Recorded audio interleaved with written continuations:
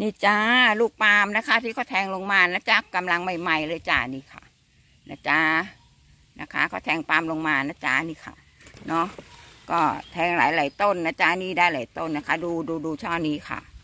นะคะ ช่อนี้เม็ดอย่างใหญ่เลยจ้านะคะ นี่ดู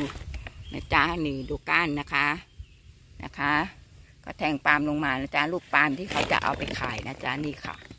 นะคะ โอ้ลูกอย่างใหญ่เลยนะจ๊ะนี่ค่ะนะคะ ก้านใหญ่มากเลยนะคะ นี่ค่ะนะคะนะคะ ช่อก้านนะจ๊ะนี่ก็เป็นลูกนะคะ ลูกปาล์มจ้ะนะคะ นี่ค่ะต้นค่ะนะคะ นี่ค่ะนี่เขาแทงลงมานะคะ ต้นสูงอย่างนี้เลยจ้ะนะคะ ต้องใช้ไม้ช่วยนะจ๊ะนะคะ ต้นหนึ่งก็จะมีช่อสองช่อนะจ๊ะนี่ค่ะ ต้นปาล์มนะจ๊ะนะคะเนาะ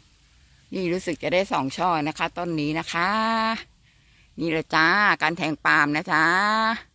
เขารับจ้างแทงปาล์มด้วยนะคะนะจ๊ะ